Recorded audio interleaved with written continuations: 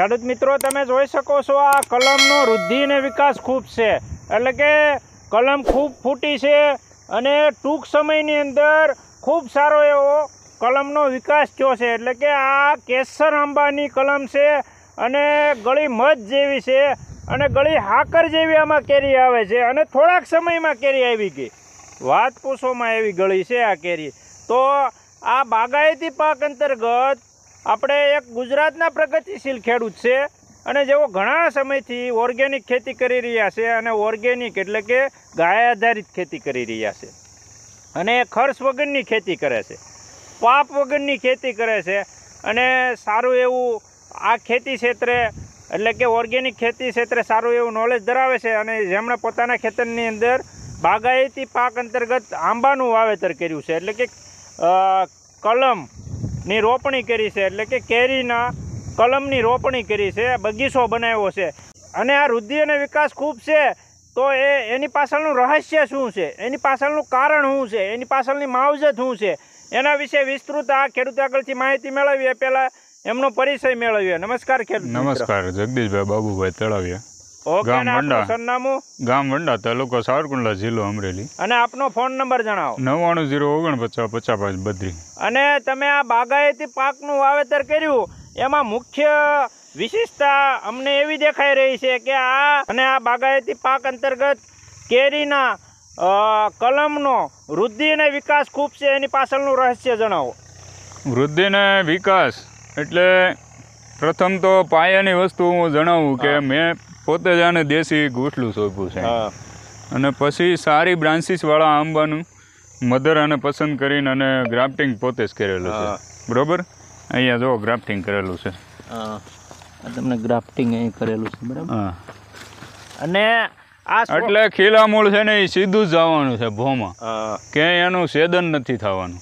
આપણે માનો કે કુંડિયું ક્યાંયથી ખરીદ્યું આનું? કલમ ત્યાર કલમ. તો એના મૂળનું સેદન થાય. એટલે મૂળ છે ને એ બે જગ્યાએ ફરે એટલે મૂળિયા વાહટી જાય. અને આનું મેન ઓરિજિનલ મૂળ હોય એ સીધું જ જવાનું છે ભોમાં. જમીનમાં એ વધારે આ તાકાતવાર છોડ બને છે. અને પ્લસ આને ખોરાક જે કાંઈ આપ્યો છે અમે એ જીવામૃત ઓલા પણ બેરલ જે હોય ને અમારા ભરેલા જીવામૃતના એની રબડી જે કાંઈ વધે એ સીધી જ અમે કેરામાં આવવા દઈએ એટલે આ કલમોને ઝાઝુ પોષણ એમ મળે છે. એટલે કે જીવા જીવામૃત. જીવામૃત બેસ્ટમાં બેસ્ટ. ખોરાક આનો જીવામૃત છે. અને આ ડાળી બ્રાન્ચીસુ જાજી ફૂટી છે એની પાછળનું રહસ્ય? એ એનો મધર સારો પસંદ કરેલો છે હા. જાજી બ્રાન્સીસુ વાળો. હા. અને સારા આવરણ વાળો અને ગ્રાફ્ટિંગ કોણે કરેલું છે ગ્રાફ્ટિંગ મારી પોતે જાતે જ કરેલું છે. અને તમે કેટલા તમારા ખેતરમાં કેટલા વિસ્તારની અંદર આનું આવે અટાણે મારી પાસે અહીંયા છે ને ત્રીસ જેટલી કલમો છે. પછી હું આજે કાંઈ મલ્ટીલેયર એક કરવાનો છું. એ આ દસ ફૂટની લીંબડીની જે જગ્યા છે અને વચ્ચે એક એક ગોઠલું હું દેશીનું સોંપીશ અને પોતે જ પાછું જાતે જ ગ્રાફ્ટિંગ કરવાનું છે. એનું હાથે જ. આની બધી જે કાંઈ ડાળીઓ છે. એના હું સડાવી દઈ પાછા આમાં. એટલે કે તમે આની કલમ વેસાતી લાવ્યા હતા કે કેમ? નહીં વેસા તો હું લાવતો જ નથી. આમાં ઝીરો બજેટથી જ હું કરું છું. ઓકે. કોઈ જાતનો ખર્ચો નહીં કરો. હા તો કેરીનું ગોઠલું છે એ તમે કેવું પસંદ કર્યું હતું તમે? ગોઠલું દેશીનું ઓકે. અને મધર સારી મીઠી અને જાજા આવરણવાળી ને જાજી બ્રાન્ચવાળી હતી એવી મધરના ડાળા હું લઈ આવ્યો ઓકે ડોકા. એટલે કે ડોકા છે ડાળીઓ ડોકા ઉપર ચડાવવાનું. એ સારામાં સારી કેસર કેરી બીજે થતી હોય સારા ગોળાઈ વાળું ફળ માપસરની ગોઠલી હોય અંદર દળ હોય મીઠાશ હોય ઝાજી બ્રાંસુ હોય વાયરસ ઓછો આવતો હોય એ બ્રાન્ચ ઓલે પસંદ કરવી મધર. તો બગીચો આપણો સારો બનશે અને ઓછા છોડ હશે તો ઝાઝું ઉત્પાદન આપશે. અને ઓલા ઘોડે ઓલા ઘોડે ઠોઠ નીસળિયા આપણે ઝાઝા વતણા હોય ને કાંઈ લેશન જ ન કરે તે શું કામનું? પણ આપણે થોડા કહેવામાં જ ઝાઝું ઉત્પાદન લેવું છે. તો આપણે સારી મધરનું પસંદગી કરવી પડશે. ઝાઝી વાવેતર તમે ક્યારે કર્યું હતું આ? વાવેતર આ બધા ત્રીજા વરાના છોડ છે. ત્રીજા વર્ષના તો ત્રીજા વર્ષે કઈ આમાં ઉત્પાદન આવ્યું કે કેમ? હા આમાં બધામાં ત્રણ ત્રણ કેરી રેવા દીધી હતી. બાકીની? બાકીની બધી ખેરી નાખી હતી આમાં ધોમ આવી હતી. તો શા માટે ખેરી નાખી તમે? ખેરવી આનો વિકાસ આટું હતી. જો આ પાછા કોળાઈ ગયા. નકરી એમનું સંકોચાણે ગલા રહે હવે એને આપણે ખેરી નાખવો પડશે હા ખેરી નાખો. એટલે કે ખેરી નાખશું તો મુખ્ય ફાયદો શું થાય? એને વરહેજ નગર આવે કેરી તો શું છે છોડનો વિકાસ ન થાય એમનું રૂંધાઈ ગયેલું રહે એટલે કે કારણ કે એનું ફળમાં તાકાત વહી જાય. ઓલું છે એ સીધી તાકાત આ ડોકા ડાળીઓમાં ચડી જાય. એટલે કે જો આ બધી ડાળીઓ ફૂટી ગઈ. ખેડૂત મિત્રો આ ખેડૂત મિત્ર છે ને. અહીંયા ફાલ આવ્યો તો એ બધું એને ખેરી નાખ્યો એટલે પછી જો ની આ બધી ભાંગી ગઈ હતી ને આડી પડી ગઈ હતી આ બધી સીધી કરી મેં. હા, હા. અને પછી બધી ફૂટી ગઈ એટલે કે જ્યાં આપણે ફાલ ખેર્યો છે ત્યાં ફૂટશે નવું. હા એ તો તાકાત ફળમાં ન રહે અને બ્રાન્ચમાં ચડી જાય પાછી. અને આમ જોઈ શકો છો આ બધે નવા નવા કુંબળા જોવો આવતા વર્ષે આને રહેવા દેવાની છે. હે? આવતા વર્ષે રહેવા દેવાની એટલે કે ચોથા વર્ષેથી રેવા દેવાની. બધામાં બધામાં ચોથા વર્ષેથી તમે. રેવા દેશો બરાબર. અને ઉત્પાદનનું આમાં પ્રમાણ તમને અંદાજ કેવો છે કેવો આવશે અંદાજ તો આમાં એની મધર જ સારી છે તો પછી આમાં મારે કાંઈ જોવા પણ જ નથી.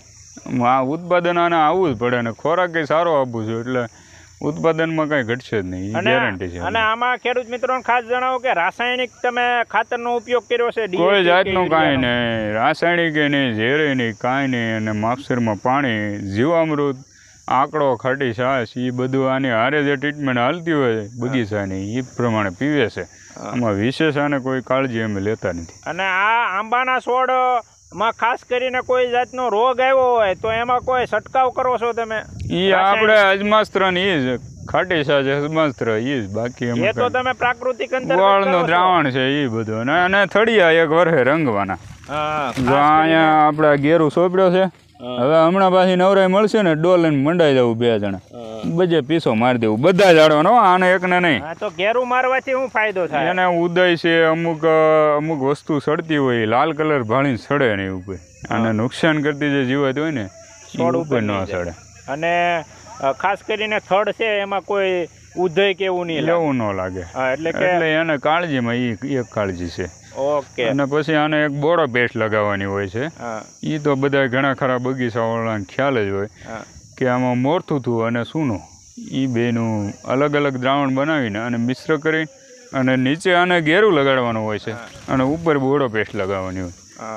એટલે આને ઉદય કે કોઈ મુંડા કે એવું કઈ ખોરી નહીં ખાય. ત્રણ જણાવો કે મેં ત્રણ ત્રણ કેરી પેલા વર્ષે રાખી હતી એનો સ્વાદ કેવો હતો? એ તો લાજવાબ એમાં કઈ કઈ ઘટે જ એટલે નહીં. કે ગળપણનું પ્રમાણ કેવું હતું? ફૂલ ફૂલ. અને ગાય ધારિતમાં અને એનું મધર સારો પ્રાઇસ કર્યો હોય એટલે અને ગાય ધરિત હોય વસ્તુ એટલે એમાં તો કઈ ઘટે જ નહીં. અને એ કેરી ગળી કેવી હતી? ગળી હાકર ઊભી રહી જાય એક બાજુ.